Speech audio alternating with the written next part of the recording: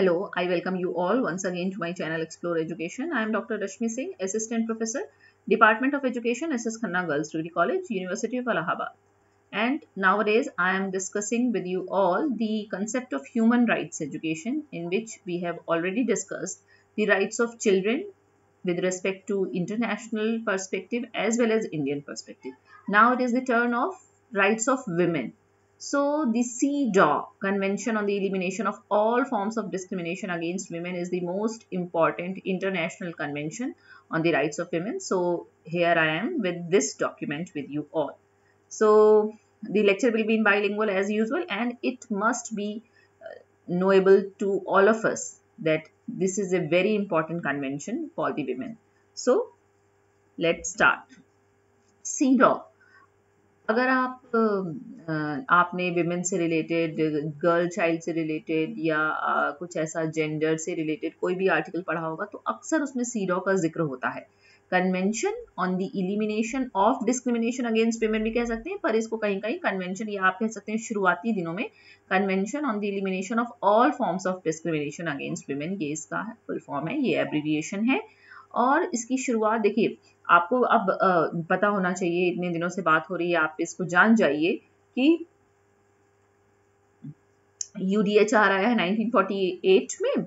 आपका universal declaration of human rights तब से वो काम कर रहा है ह्यूमन राइट्स की बात कर रहा है। तो उसने कहा कि जो वलनेरेबल ग्रुप है, जैसे बच्चों के लिए अलग से उसने बात की कि बालकों का जीवन सुरक्षित रहे, उनको, उनका बचपन मिले, उसी तरह से विमेन भी वलनेरेबल ग्रुप है। बहुत उनके खिलाफ शोषण का शिकार रही है वो all all over the world throughout the globe ऐसा नहीं है कि सिर्फ़ इंडिया में ऐसा होता है, लगभग हर जगह होता है।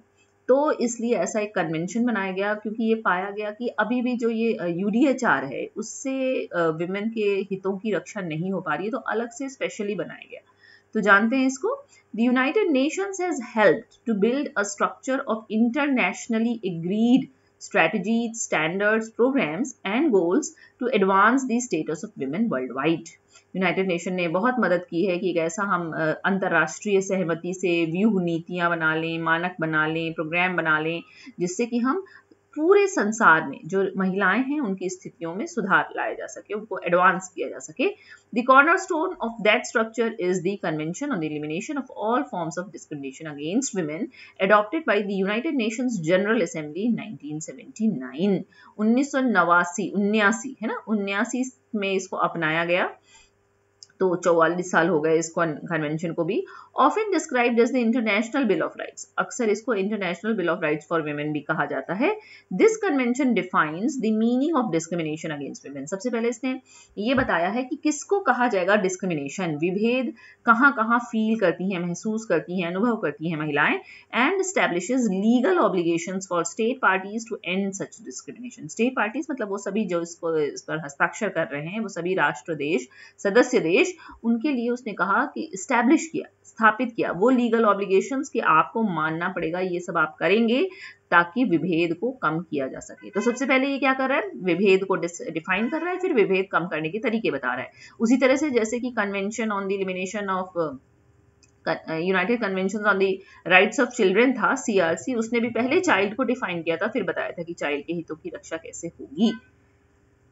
यूनाइटेड नेशंस का जो मिलेनियम डिक्लेरेशन आया, उसने 8 सितंबर 2000 को ये कहा कि heads of state and government consider equal rights and opportunities of women and man and the rights of women and man to live their life and raise their children in dignity free from hunger and right and free from the fear of violence, oppression or injustice as fundamental values essential to international relations in the 21st century.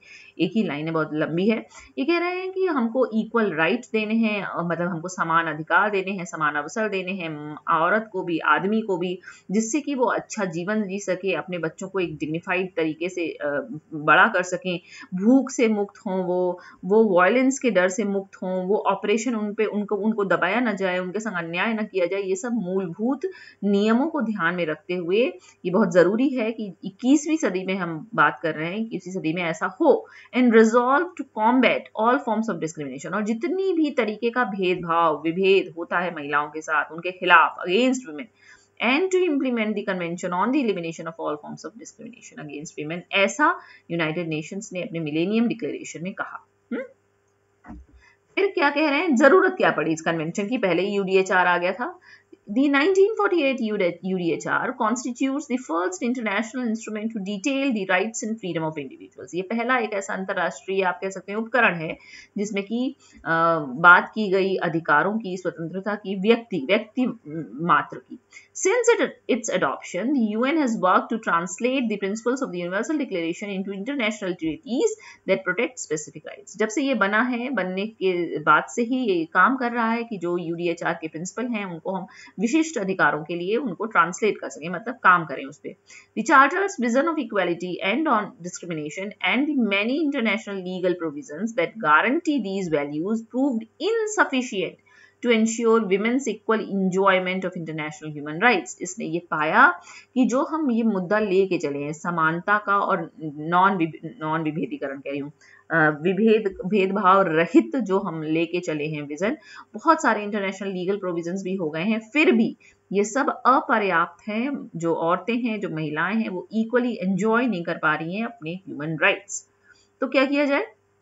In 1969, the international community adopted the Declaration on the Elimination of Discrimination Against Women.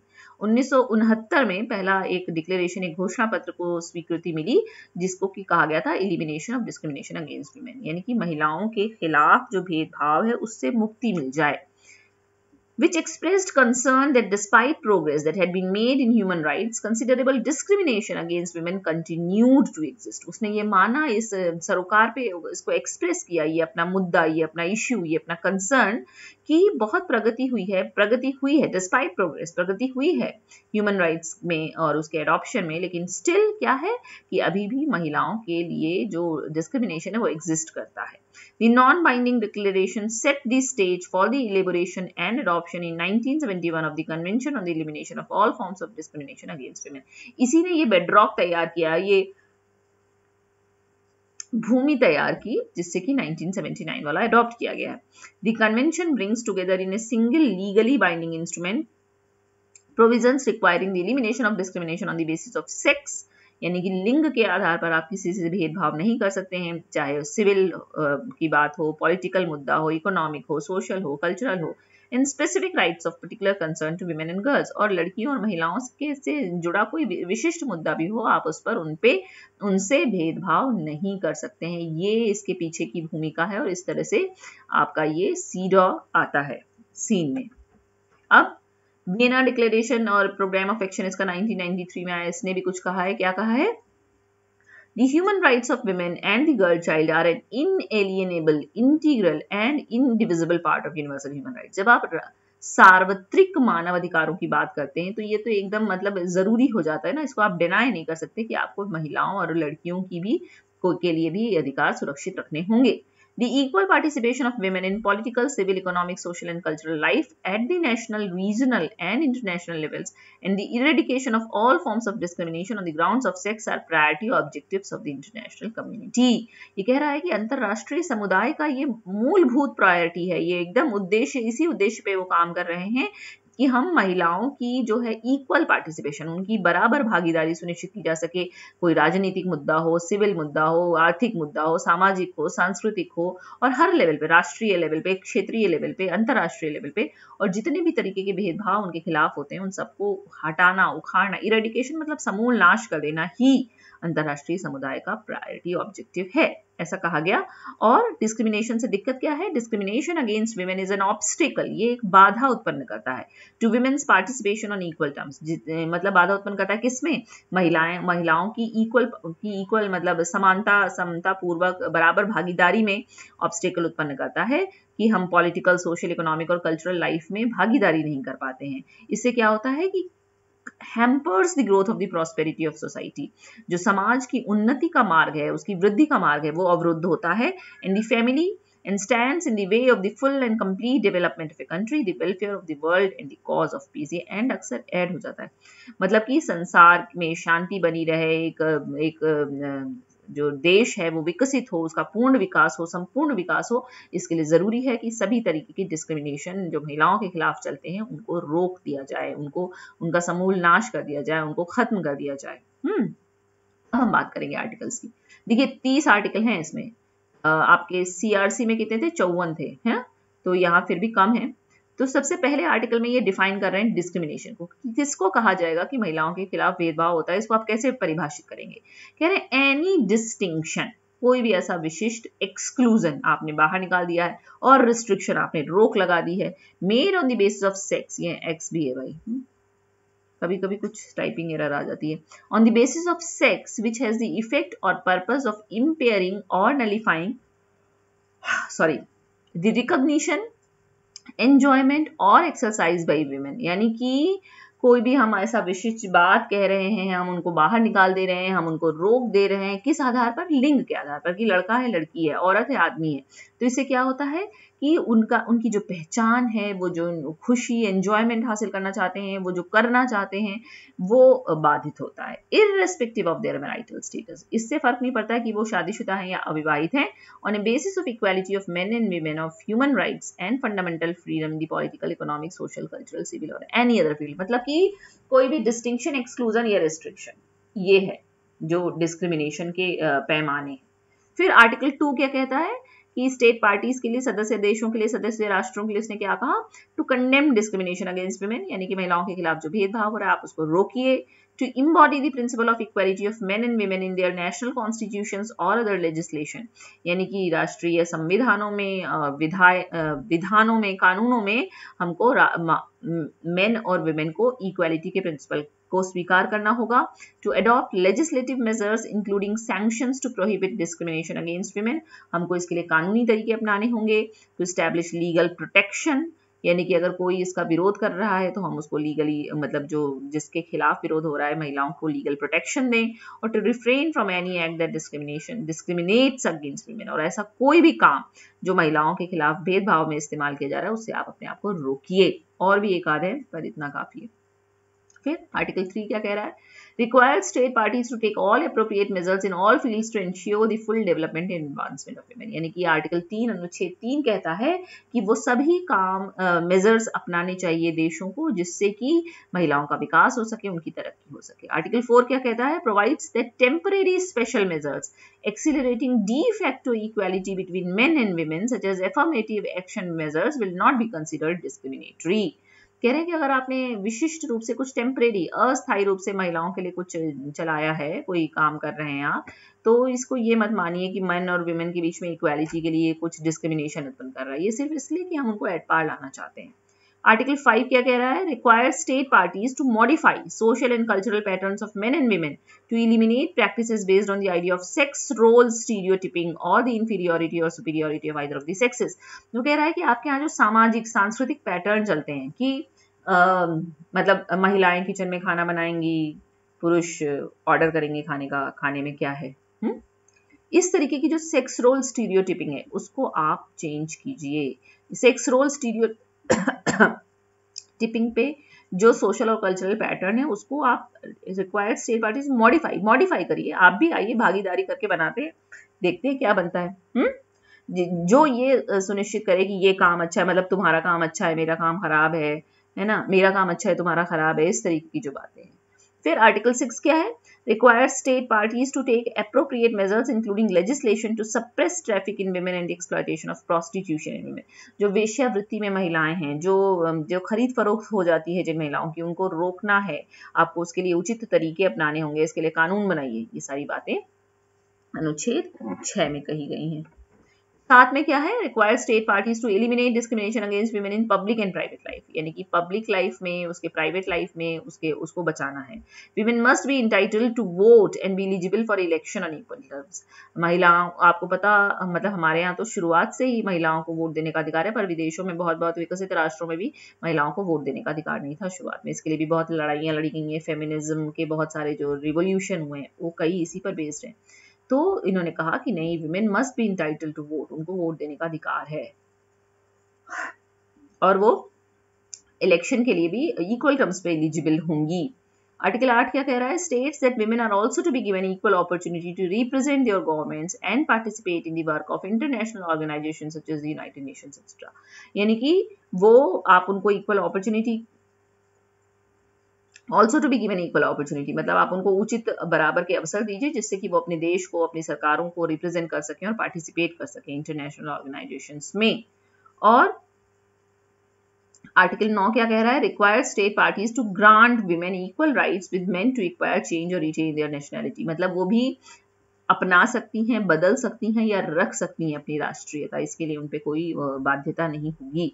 Article ten क्या कह रहा है? कि ये education से related है require state parties to eliminate discrimination against women in education in respect of access to studies यानी कि पढ़ने लिखने में चाहे वो प्री स्कूल लेवल की बात हो जनरल बात हो टेक्निकल एजुकेशन हो जनरल एजुकेशन हो professional higher technical vocational training कोई सी भी हो, उनको बराबर एक्सेस प्रदान की जाएगी, कोई भेदभाव नहीं किया जाएगा। आर्टिकल 11 कह रहा है obliges state parties to take all appropriate measures to eliminate discrimination against women in employment देखिए, शुरुआत में क्या होता था कि जो रोज़गार में पुरुष जो काम करता था, उसको उसकी ज़्यादा तनख्वाह मिलती थी, महिलाओं को कम मिलती थी। अब कहा गया है कि आपको भी इक्वल रेम्यूनरेशन मिलेगा बेनिफिट्स इक्वल होंगे equal treatment to work of equal value एक जैसा काम कर रहे हैं तो इक्वल ट्रीटमेंट होगा। As well as equality of treatment evaluation of the equality of work है ना? आपको मेटरनिटी लीव मिलेगी आपका without loss of former employment इससे आपका जो रोज़गार है वो छीनेगा नहीं। नहीं तो क्या होता था, औरतें मेटर्निटी लीव पे जाती थी, लौट के आती थी, उनको काम पे ही नहीं रखते थे कि आपकी जगह किसी और को रख लिया। तो ये सारा कुछ आर्टिकल 11 से आया है कि आप उनको एम्प्लॉयमेंट में कोई डिस्क्रिमिनेशन उनके साथ नहीं करेंगे। Article 12 require state parties to take measures to eliminate discrimination against women in health care यानी कि स्वास्थ्य सुविधाओं में आप उनके संग कोई भेदभाव नहीं करेंगे कि पुरुष को पहले ट्रीट कर रहे हैं, महिला को बाद में। ऐसा नहीं होगा। In order to insure that women have access to health care services on the same basis as man जिस आधार पर आप मेन का ट्रीटमेंट करते हैं, वैसे ही महिलाओं का भी किया जाएगा including those relating to family planning और परिवार नियोजन में भी हेल्थ केयर में मतलब परिवार नियोजन को भी शामिल कर लिया है। फिर आर्टिकल 13 में क्या है? It require state parties to eliminate discrimination against women in economic and social life यानी कि जो उनकी आर्थिक और सामाजिक जीवन है, उसमें भी उनके संग कोई भेदभाव नहीं किया जाएगा। जैसे सोशल बेनिफिट्स हैं बैंक से लोन लेना है, उनको कुछ गिरवी रखना है, और भी किसी तरीके की फाइनेंशियल क्रेडिट की बात है तो सबके संग जैसा आदमियों के संग होगा, वही नियम औरतों के संग भी लागू होंगे। फिर article 14 is the only international treaty obligation that deals with the specific needs of rural women. यानी कि ये पहली एक ऐसी अंतरराष्ट्रीय संधि है, जो ग्रामीण महिलाओं के लिए भी उसने बात की है कि उनको पार्टिसिपेशन उनका हो, उनको रूरल डेवलपमेंट में समान बेनिफिट मिले जैसा आदमियों को मिल रहा है, इसकी बात इसने की है। फिर article 15 guarantees women equality with man before the law आपके यहाँ आपको पता है ना इक्वालिटी बिफोर द लॉ का आर्टिकल है। उसी तरह से ये भी कह रहा है कि लॉ की नज़र में, कानून की नज़र में सब समान है। Equality with man before the law women's are to have identical legal capacity to that of man उनकी भी वैसी ही लीगल कैपेसिटी है जैसे आदमियों की है. They are to have the right to include contracts and administer property and they shall be treated on the same basis as man at all stages of court and tribunal proceedings यानी कि हर जगह वो चूँकि आदमियों के समान है तो उनके संग कहीं किसी लेवल पे कोई भेदभाव नहीं किया जाएगा. Article 16 obliges the state to eliminate discrimination against women with respect to marriage and family relations. As to enter marriage on the basis of full and free consent to this मतलब कि जैसे कि आदमियों के पास ये अधिकार है कि कब वो उनको किस रिलेशनशिप में एंटर करना है अपना स्पाउस चुनने का अधिकार है अपना जीवन साथी चुनने का अधिकार है किसी भी तरीके का भेदभाव उनसे शादी में या पारिवारिक रिश्तों में नहीं किया जाएगा ये आर्टिकल 16 में लिखा है।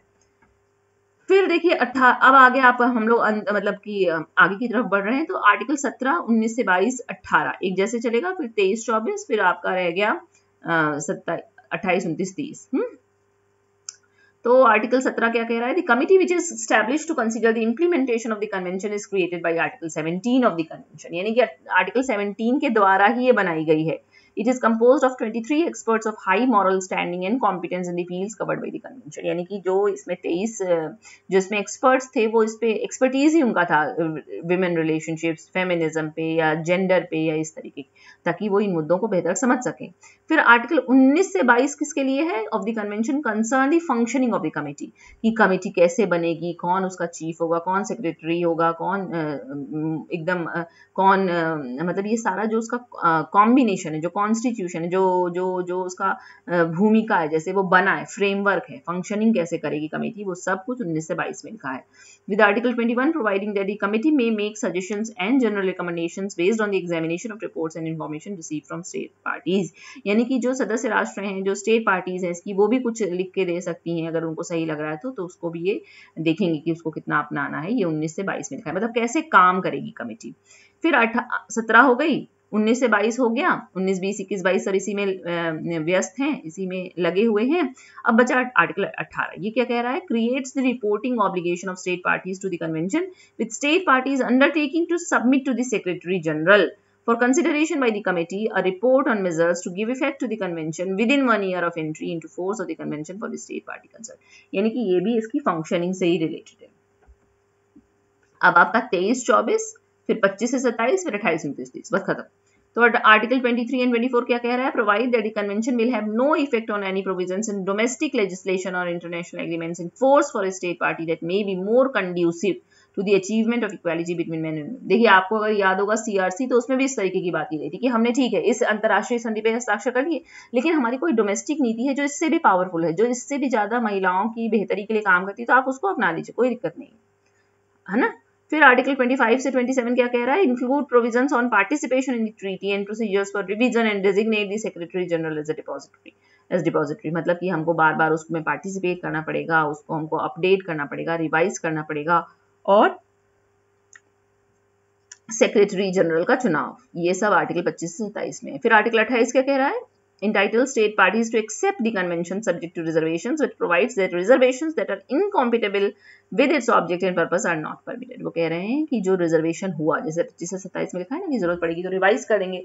तो सब्जेक्ट टू रिजर्वेशन जो to accept the convention subject to reservation तो जो आरक्षण पे आधारित कन्वेंशन में बात की गई उसको एक्सेप्ट करना होगा और ये uh, उसके ऑब्जेक्ट और पर्पस को परमिट नहीं करेगा। हम्म।